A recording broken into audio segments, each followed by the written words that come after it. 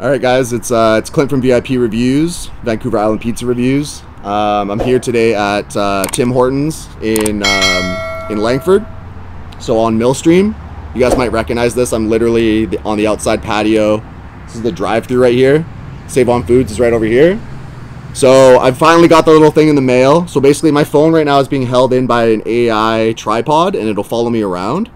Um, I'll show you guys maybe in a different video. So right now I just have it sitting there. I'm at a table by myself. I got the Tim Hortons pizza. I was trying to show it to you guys real quick.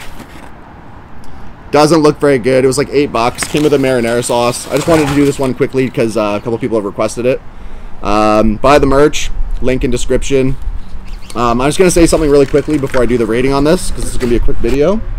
Um, obviously, there's probably been a couple people out there that have seen me uh, post the CHEK News copycat thing and they're doing Zaz Pizza and whatnot.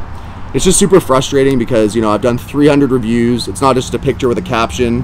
Uh, and nobody promotes me. So all these places, you know, they're happy to promote two 70 year old guys in full price for everything. They don't promote it at all. But two old guys show up and do a very boring job, but they get promoted it's just silly to me. So I feel like I'm being blackballed. You know, why would a guy who's locally here on the island, who's reviewed every pizza all, all the way up to Nanaimo, not be at least mentioned once by Times Colonist, CHEK News again because they did me at the very beginning, but obviously now that we're having differences or whatever. Um, even though I like Victoria Buzz a lot, they don't even mention me. People don't want to support me, but that's fine. On to this, on to this review here. So I just got the plain cheese because you guys know that's how I do it. So let's do a quick I don't want to make this a very long one, but taco grip. Uh, undercarriage looks like trash. Eight bucks. Taste test. This isn't bad. Like, take that with a grain of salt. The sauce tastes okay. The cheese tastes half decent. Let's get a crust bite here. I don't know if you could hear anything there, but I mean, think about it as just like, it's just a little piece of dough with some cheese and sauce on it. It's not going to knock your socks off. I will never buy it again. I'm reviewing it for you guys. Rating out of 10. It's regular pizza scale. Um,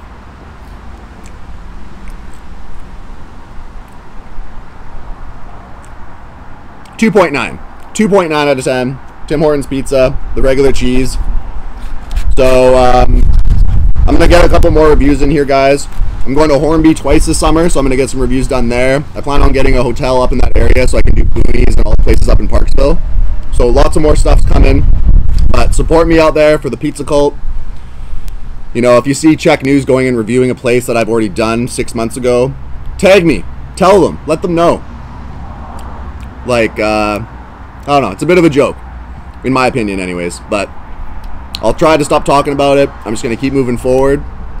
Um, yeah, so I'm going to be going to do Little Caesars after this for their Chicago deep dish.